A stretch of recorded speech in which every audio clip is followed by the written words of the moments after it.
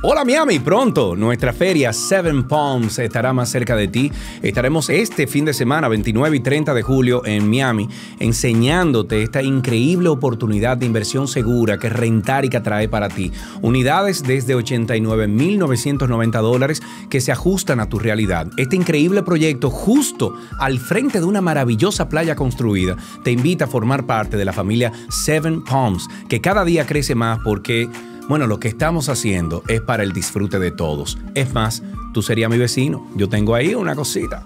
Escanea el código de barra y asegura tu participación. Obtendrás un bono de 2 mil dólares que podrás utilizar en cualquier unidad de tu preferencia, así como de disfrutar de rifas interesantísimas. Busca ahora mismo rentarica.com. Entra rentarica.com y dale clic al banner de feria.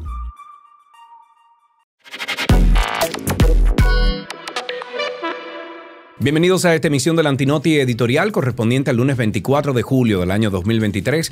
Se ha hecho famosa la frase del presidente dominicano Luis Abinader de que no existe una solución dominicana al problema haitiano. Y tiene razón el presidente porque la solución a los problemas de Haití es allá en Haití que tienen que buscarla. Tanto que hasta debería existir un tratado entre ambos países de no interferir en la política interna del uno y del otro. Pero sobre todo porque no tenemos los recursos para cargar con ellos. Eso suena muy bonito. ¿eh? Ahora bien, el bendito problema que ya tenemos arriba de este lado de la isla es que cada día más hay más haitianos ilegales. Se exige una solución dominicana porque lo último que deberíamos esperar es que sean organismos como la ONU o el mismo Haití que vengan a decirnos qué tenemos nosotros que hacer con, con bueno, con los ilegales que hay en este país. Entonces no hay peor ciego que el que no quiere ver. Y a menos que usted quiera hacerse el pendejo, es imposible no darse cuenta de que aquí en nuestro país cada día hay más y más haitianos ilegales y se hace evidente su presencia porque son personas que llegan con costumbres y educación distintas a las nuestras y se les ve hasta bañándose desnudos en las calles. A esto, y defecando también. A esto debemos sumarle la gravedad de que es tanta la migración que en algunos casos hasta se han denunciado ventas de visas, residencias, papeles falsos en línea y eso se queda como si nada. La presencia de ciudadanos haitianos en República Dominicana es una realidad cada día más palpable en cada esquina y rincón de la isla. Por apartado que sea el lugar, como la denuncia, por ejemplo, de que haitianos habían ocupado la entrada del Salto de Aguas Blancas ahí en Constanza, los, los desalojaron y volvieron a ocuparla. Entonces esperamos que ya a estas alturas el desalojo haya sido definitivo. Pero más que no que, o sea, que vengamos aquí a quejarnos y repitamos lo evidente que es esta situación, es nuestro deseo en el Antinoti de resumir en esta entrega lo que debería ser la solución dominicana al problema haitiano. Es un aporte que hacemos nosotros a nuestro país, porque nadie más tiene que venir a resolvernos este problema que cargamos encima. Y no debemos esperar a estar, por ejemplo, como Francia, que extranjeros llegan y se apoderan de un país al que tampoco agradecen nada y luego entonces pasan a destruirlo. Y tanto al pueblo dominicano como a los mismos haitianos que residen legalmente aquí en el país, trabajan y se comportan de acuerdo a nuestras costumbres, es que más les conviene el orden y acabar con este desastre. Por eso aquí entonces proponemos cómo hacerlo en, siete pasos. Ahí está. Primero, blindar la identidad nacional. Blindarla. La Junta Central Electoral no puede seguir siendo eh, vista como la institución que organiza las elecciones del país cada cuatro años y olvidarnos de que ella el resto del tiempo existe. La Junta Central Electoral es el depósito vivo de la identidad nacional y hasta el día de hoy nadie le ha metido mano, por ejemplo, a limpiar el padrón electoral? ¿Cómo es posible que uno tenga que llevar a la Junta Central Electoral, por ejemplo, un acta de matrimonio que emiten ellos mismos para que ellos mismos entonces cambien el estado civil de, la cédula? Pero por favor, por eso cuando hablamos de limpiar, no solo es la, la, bellaquería de dejar personas que ya han fallecido que sigan votando, sino el serio problema de que figuran personas como dominicanos que no lo son. Para el año 2005, y esto es uno de los tantos ejemplos, hace 18 años de eso, un sacerdote del diablo, porque jamás podría ser sacerdote cristiano una persona que miente, declaró como dominicanos a 87 haitianos en la oficialía del Estado Civil del municipio de Mao, provincia de Valverde. Y yo pregunto, si eso fue un sacerdote, ¿cuántos casos más no habrán como ese? Limpiaron el padrón, lo sacaron. Esos 87 muchachos que ya tendrían, bueno, más de 18 años, van a votar entonces en las elecciones del 2024. Los identificaron. Y para el que diga que no hay recurso, aquí la Junta Central Electoral les regala cada año mil millones de pesos a los asquerosos partidos políticos, por lo que no puede ser falta de recursos. Tampoco es posible que teniendo un registro biométrico, aquí la emisión de un pasaporte no tenga nada que ver con este registro y sigamos operando como islas que de hecho hay una denuncia grave de que supuestamente se presente, perdón, que se pretende otorgar la emisión de pasaportes biométricos a una empresa vinculada a un empresario haitiano, que sería la mayor amenaza a la seguridad nacional. Porque si manejando nosotros los pasaportes, el hijo del líder de Corea del Norte, Kim Jong, lo agarraron en Japón con un pasaporte dominicano falso que él mismo confirmó que le costó dos mil dólares, imagínense ustedes. ¿Qué podría pasar si los pasaportes dominicanos fueran manejados por una empresa privada que de dudosa nacionalidad, vamos a llamarle? Entonces, ojo con eso. Paso 2. Nuestra sugerencia número 2. Registro de datos biométricos. Sea dominicano o no, todo el que pise territorio dominicano debe quedar registrado en una base de datos biométricos. Foto de cara, huellas dactilares, iris de los ojos, Así como hace cuando uno va a Estados Unidos. Tú te tiras tu foto, pero eso es para medir y ver si eres tú. Entonces, eso es un dato biométrico. No es posible que aquí agarren al mismo haitiano en estatus ilegal una, dos, tres, cinco, siete, ocho, diez veces sin que eso genere sospecha alguna. Aquí, si le cruza por el frente de un destacamento de la policía, por ejemplo, ya sea el jefe de una pandilla haitiana o un vendedor de fruta, las autoridades dominicanas no saben quién es. Es más, el colmo es que Jeffrey, el haitiano ese que le cortó los brazos a la niña Cielo porque se negó a ser violada, sigue viviendo en República Dominicana. No ha pagado por ese crimen y los padres de esa niña de Cielo confirman que se burla de ellos en redes sociales. Un país en pleno año 2023. Un país que es el que más produce en el hemisferio, un país que es el que el de la economía más fuerte del hemisferio. No es posible que no tenga cómo accionar en menos de 24 horas, rastreando por sus cámaras a la identidad de un maldito violador, un violador de menores que le cortó los brazos a una niña y todavía no ha pagado por ese crimen. Sugerencia número 3. Organizar, señores, los permisos temporales.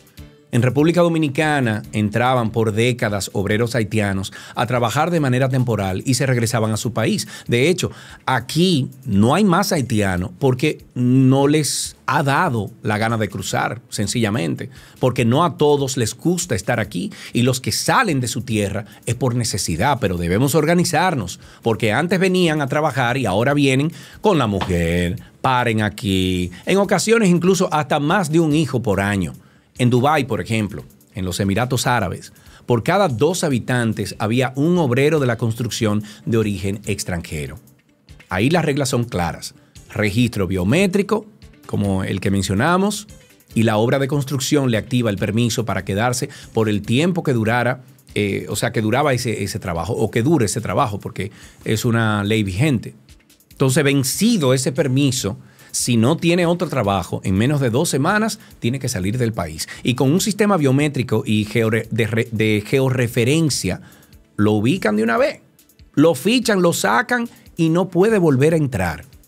Si aquí los sectores agrícola y de construcción, por ejemplo, no tienen forma de cumplir la ley del 80% de puestos para dominicanos y 20% para extranjeros, hagan una norma de permiso temporal donde, aparte del empleo, les retengan, por ejemplo, a esos obreros su impuesto por los servicios de salud que reciben durante su estadía temporal hasta que ese trabajo concluya y se vayan del país. Sugerencia número cuatro, sistema de consecuencia. La frontera, gracias al narco, pasó de ser de un castigo a un premio para los guardias hacerse ricos.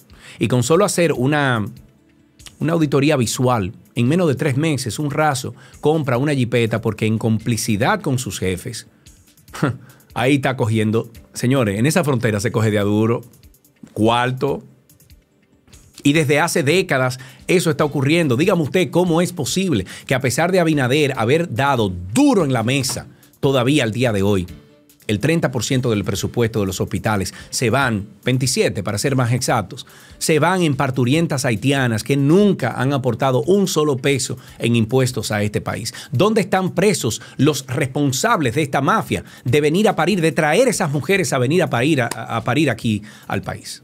¿Dónde están? ¿Dónde están presos y sometidos por crimen de lesa patria los cónsules que nombran en Haití y se hacen millonarios vendiendo visa a gente que no califica, mientras en otros consulados en potencias mundiales se la ponen en China para darle visa a personas que son profesionales y que quieren venir a invertir a República Dominicana?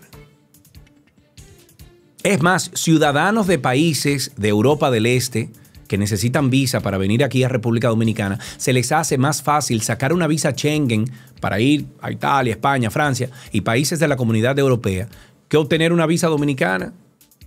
Ah, pero nadie se pregunta entonces cómo carajo un consulado dominicano en Haití emite tantas visas a gente que no califica. En el año 2021, 2020, una cosa así, fueron como 786 mil visas. ¿Pero y qué carajo es esto, Dios mío? Entonces tampoco hay cámaras fiscalizando en cada camiona. Porque ¿qué carajo pasa con los haitianos que suben en esos camiones?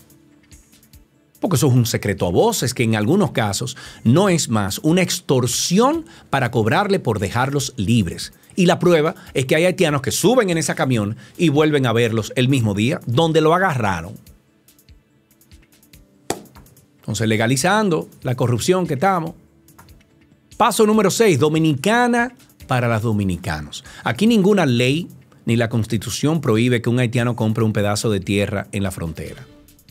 ¿Cómo es posible que eso se deje así? ¿O vamos a esperar que una fundación de esas que andan por ahí venga, empiece a comprar tierra en la frontera y los legalice o nos legalice la invasión metiéndonos un asentamiento de haitianos en territorio nuestro? Dígame.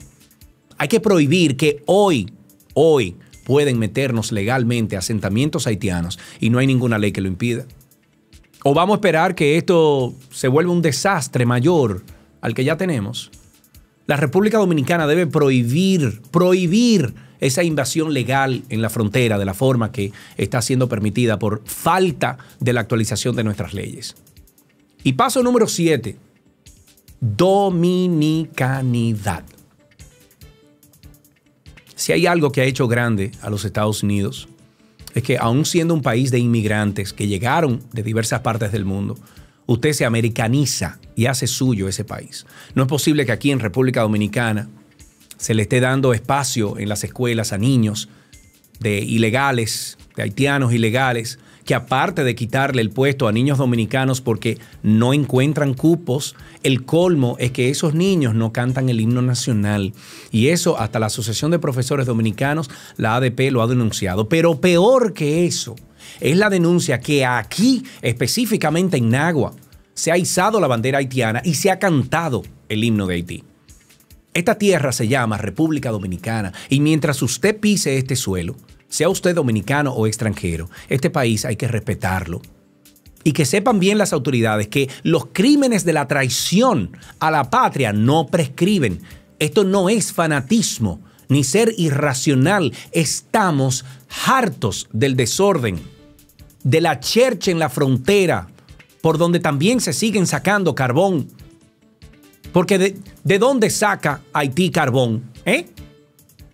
para las necesidades de fogones y hasta energética que tienen ellos. Y ese carbón lo producen ilegales haitianos que son empleados por dominicanos con poder, que son los dueños del negocio, y nadie se atreve a tocarlos. Es más, aquí en Bávaro, ahí en el bulevar que conecta a Punta Cana de Bávaro de Verón, señores, eso es diario, diario cientos de haitianos ilegales que se ponen en los alrededores de la carretera, pasan camiones, les ofrecen dinero para un día de trabajo, se los llevan y lo dejan ahí. ¿Cómo yo sé eso? Porque el otro día había un control de migración ahí, yo iba pasando, que iba para Bávaro, y me encontré con que cuando el control de migración se paró ahí, salieron todos corriendo. Eso no lo hace una persona legal. ¿O sí? Y eso está ahí. Que todo el mundo lo ve. Y entonces. Entonces, para resolver el problema haitiano, solo hace falta voluntad. Y mientras más organizados seamos nosotros los dominicanos, con quienes dejamos cruzar aquí, más presión pondrán los propios haitianos para resolver sus problemas allá. La solución al problema de los haitianos en República Dominicana tiene que ser dominicana y cada día que pasa es un peligro más. Hasta aquí esta emisión del Antinoti editorial correspondiente al lunes 24 de julio del año 2023. Soy Sergio Carlos y en nombre de todo el equipo del Antinoti, te vi, te veré.